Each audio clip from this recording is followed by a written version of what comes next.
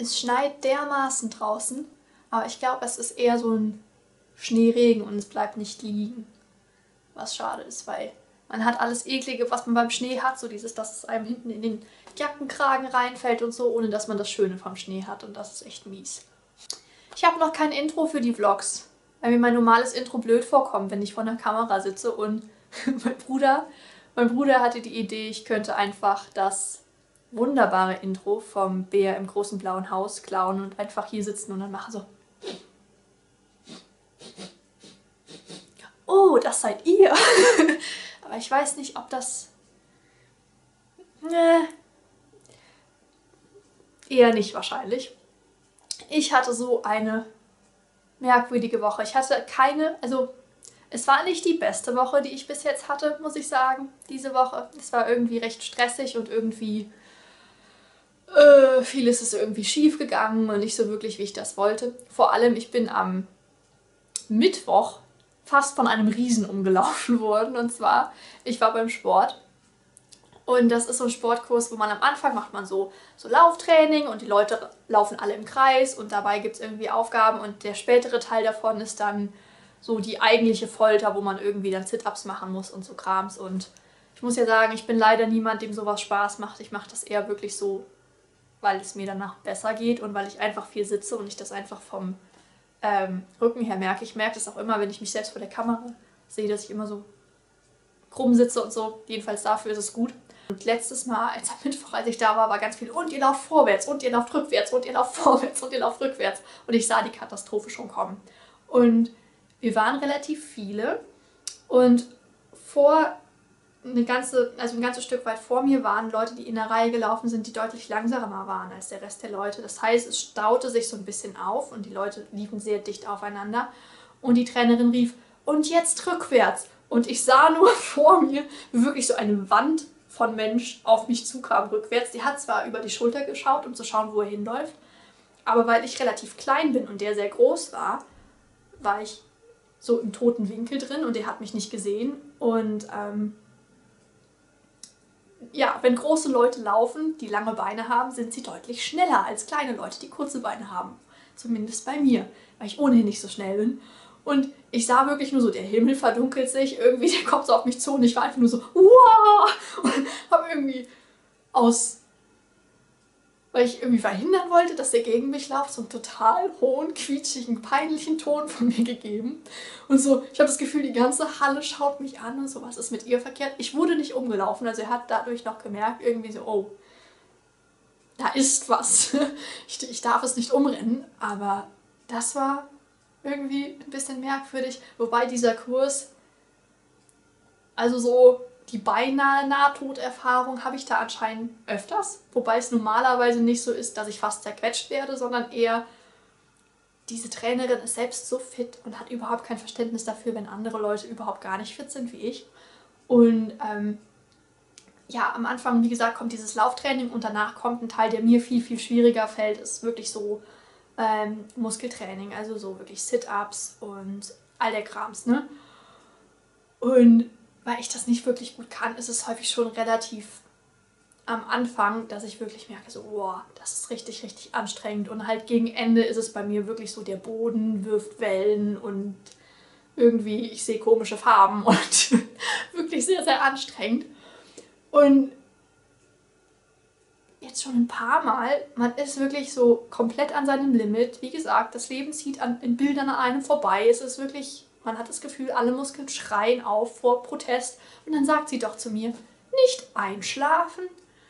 Und man denkt sich irgendwie so, ich schlafe nicht, ich krepiere. so, das ist der Unterschied davon. Und ja, außerdem letzte Woche, ich habe, ähm, ich musste Bewerbungen schreiben und ich nehme an, die meisten Menschen machen das nicht gerne. Ich mache das auch nicht gerne, aber ich war schon überrascht davon, wie anstrengend das für mich war und auch wie wie leicht ich mich da habe auch verunsichern lassen, weil ich musste so in der Art und Weise noch nie richtig ernsthaft Bewerbungen schreiben, einfach weil ähm, für die Uni ähm, lief das vom System her einfach ein bisschen anders. Also ich musste mich schon bewerben, aber ich musste in dem Sinn kein ähm, klassisches Bewerbungsschreiben dahin schicken und ähm, auch in der Schule musste ich das nie so wirklich machen.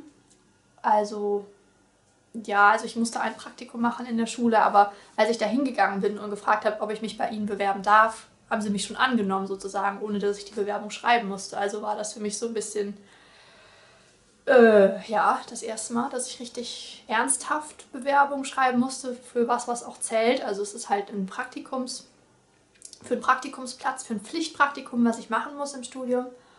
Und das hat mich so viel mehr gestresst, als ich gedacht hätte. Aber es ist vorbei. Ich habe es geschafft. Sie sind in der Post. Und ja, was ich euch auch noch zeigen wollte, ich bin kein Beauty-YouTuber und ich werde es auch nicht werden. Aber hier, das war so eigenartig, das wollte ich euch zeigen. Ich war ähm, beim DM-Markt und habe hier diese ähm, Palette gesehen. Und normalerweise kann man ja auch beim DM, da gibt es so einen Tester, man kann sich so anschauen, was das ist und kann es irgendwie so ein bisschen ne, mal anfassen und mal schauen, wie das aussieht. Und ich habe diese Lidschattenpalette gesehen und ich dachte, oh, das ist echt schön, das sind schöne Farben, die mir gefallen. Die Qualität ist wirklich ausgesprochen gut, gerade für eben äh, Make-up aus einem Drogeriemarkt und jetzt nicht irgendwie von, keine Ahnung, Douglas oder so. Und ich mache das zu Hause auf und ich zeige euch das mal, das war so eigenartig und sehe als erstes das hier, was ganz klar Lippenstifte sind, die in so einem Dings drin sind, die man halt dann mit, einer, ähm, mit einem Pinsel aufträgt. Und ich gucke mir die Farben so an und es sind eigentlich alles Farben, die ich so nicht tragen kann.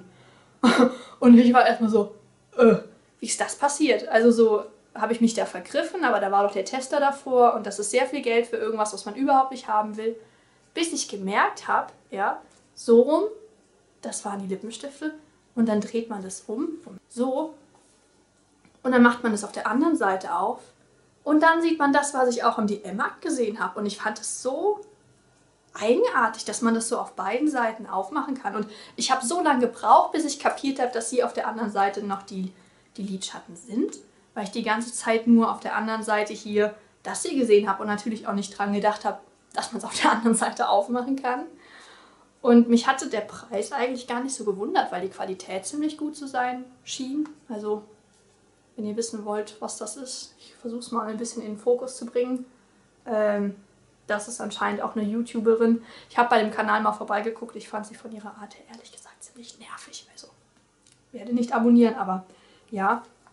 Aber das war schon vor allem halt wirklich die Farben, weil ich habe relativ helle Haut und dadurch ist es häufig, dass Farben, die an anderen Leuten noch sehr vorteilhaft aussehen und auch irgendwie noch zurückhaltend aussehen, bei mir sehr sichtbar sind und irgendwie auch so aussehen, als wenn sie vor meinem Gesicht sitzen. Und hier die Sachen teilweise, schaut euch das Pink mal an.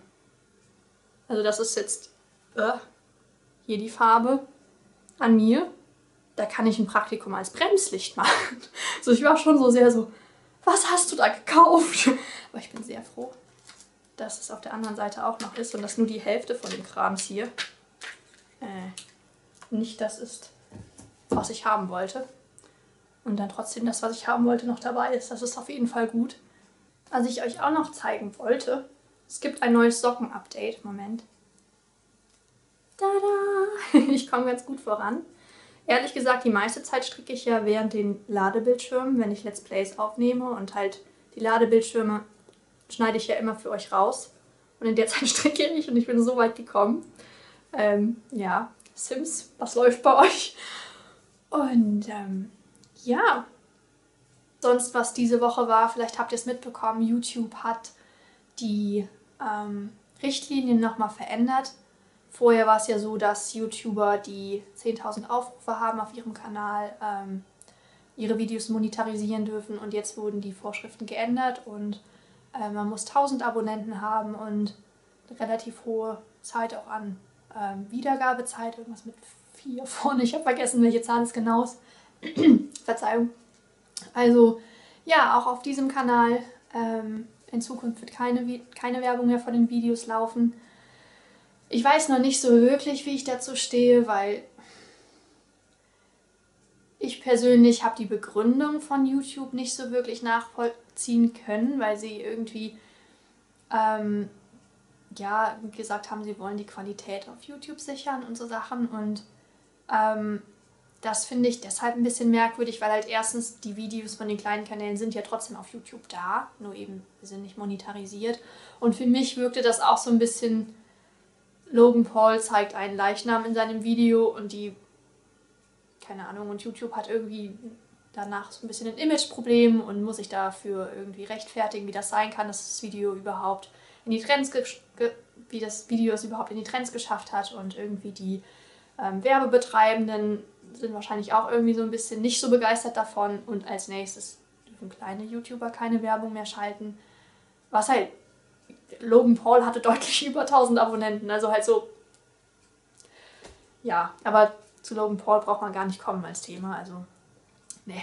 Ähm, was ich daran halt schade finde, wirklich, ist halt nicht so sehr halt wirklich das Geld, was ich verdienen könnte damit, weil es halt nicht viel wäre. Also um das mal ein bisschen offen zu legen, ich hätte im letzten Monat ähm, 1,50 Dollar verdient. Also ist das jetzt nicht so, dass ich sage, oh mein Gott, dieses Geld ist mir so wichtig, einfach weil hätte ich als Hobby Pfandflaschen sammeln statt YouTube, würde ich mehr Geld machen. Also von daher, das ist es nicht so unbedingt. Aber ich habe schon gemerkt und ich habe das auch schon von anderen YouTubern gehört, dass seit mein Kanal Werbung gezeigt hat, ich schon viel mehr Aufrufe hatte von Leuten, denen ein Video in den Videovorschlägen angezeigt wurde oder die halt irgendwie anders auf meinen Kanal gekommen sind. Und ich meine, es ist ja auch sinnvoll irgendwie, dass YouTube einfach aus einem Geschäftsgedanken her die Sachen mehr zeigt, mit denen YouTube auch selbst Geld verdienen kann. Ähm, aber das ist halt eher so das, wo ich sage, ah, das finde ich schade, wenn in nächster Zeit wieder nur sehr selten Leute neu auf den Kanal kommen und ähm, all das. Also so, ja, das finde ich mh, mm, nicht katastrophal oder so, aber ich finde es schon schade. Und ich denke halt auch, ähm, ich weiß nicht, wie sehr man das als Zuschauer mitbekommt, ähm, wenn man selbst kein YouTube macht, weil sehr viele von den Nachrichten bei mir automatisch im Spam-Ordner landen in YouTube, obwohl ich da nichts zu eingestellt habe oder so, das ist einfach automatisch. Ähm, ein sehr großer Anteil von Nachrichten, die ich bekomme auf YouTube, sind Nachrichten von anderen YouTubern, die eigentlich wirklich so sind. Ähm, ich abonniere deinen Kanal, wenn du mich auch abonnierst. Ähm, so in die Richtung gehend. Und ich habe das bis jetzt nie wahrgenommen und nie gemacht, unbedingt, weil für mich das nicht wirklich lohnend war oder sinnvoll war, weil man hat ja trotzdem nicht jemanden dabei, der sich deswegen also nicht eine Person mehr, die sich für das interessiert, was man macht, weil es halt offensichtlich nicht Leute sind, die aus einem Interesse für das, was ich hier tue, auf den Kanal gekommen sind, sondern einfach nur, ähm, weil sie selbst auch ein Abo haben wollen. Und ich finde es auch verständlich, ähm, diesen Wunsch zu haben, aber für mich persönlich wäre es, glaube ich, demotivierender, eine höhere Anzahl von Abonnenten zu haben, aber dafür sehr wenig Interesse für meine Videos, also dass sie einfach kaum geschaut werden als halt weniger Abonnenten und dafür halt Abonnenten, die halt auch sich das anschauen, was ich mache und irgendwie Kommentare da lassen und all das. Also ähm, habe ich das früher nie gemacht. Ich werde es auch in Zukunft nicht machen. Aber ich denke halt, dass das gerade unter kleinen YouTubern jetzt umso mehr zunehmen wird und auch vielleicht Clickbait unter kleinen YouTubern nochmal zunehmen wird, weil eben so diese Hürde so riesig ist, 1000 Abonnenten zu erreichen. Und es kommt natürlich darauf an, was man macht. Und ich denke, es gibt auch Leute, die zu den 1000 Abonnenten schnell kommen, aber nur mal so, um das mal in Perspektive zu setzen. Diese Website Social Blade, die auch eben YouTube-Statistiken einmal veröffentlicht, aber auch ähm, Zukunftsberechnungen macht mit den Statistiken, da sind bei mir 1000 Abonnenten überhaupt nicht, noch gar nicht dabei als Meilenstein sozusagen an, an Abonnenten. Also ich glaube, die haben das Größte, was ich dabei habe, sind, glaube ich, 850 Abonnenten als Meilenstein und voraussichtlich nach Social Plate erreiche ich das in fünf Jahren. Ja, was für mich jetzt nicht so super das Problem ist, aber einfach mal, um deutlich zu machen, wie weit weg das für viele YouTuber ist als ähm, Hürde, das zu erreichen. Von daher, hm, naja. Ähm, nichtsdestotrotz auf dem Kanal hier geht es natürlich weiter. Für euch verändert sich soweit eigentlich nichts, außer dass keine Werbung kommt. Jedenfalls, das war meine Woche soweit. Ich wurde dem letzten Mal gefragt, ob ich nicht mal ein ähm, QA machen könnte, also irgendwie so Fragen beantworten und so. Und ich hatte die Nachfrage ein bisschen verwundert, weil normalerweise der Kanal ist so klein, wenn irgendwer eine Frage hat, ich kann die eigentlich einzeln in den Kommentaren beantworten. So, aber wenn ihr gerne eins haben möchtet, also wenn ihr irgendwie Fragen an mich hättet, dann lasst die gerne in den Kommentaren. Dann können wir das machen, wenn ihr wollt. Aber wenn nicht, bin ich auch nicht beleidigt. Das wäre auch nicht schlimm. Dann hoffe ich, ihr hattet eine gute Woche und habt jetzt eine gute nächste Woche. Und ähm, ja, ich nehme jetzt mal ein oder zwei Folgen Baby Challenge auf. und Phoebe darf Wäsche waschen. An ihrer Stelle würde ich mich nicht freuen, aber ich freue mich, dass sie muss. okay, ciao.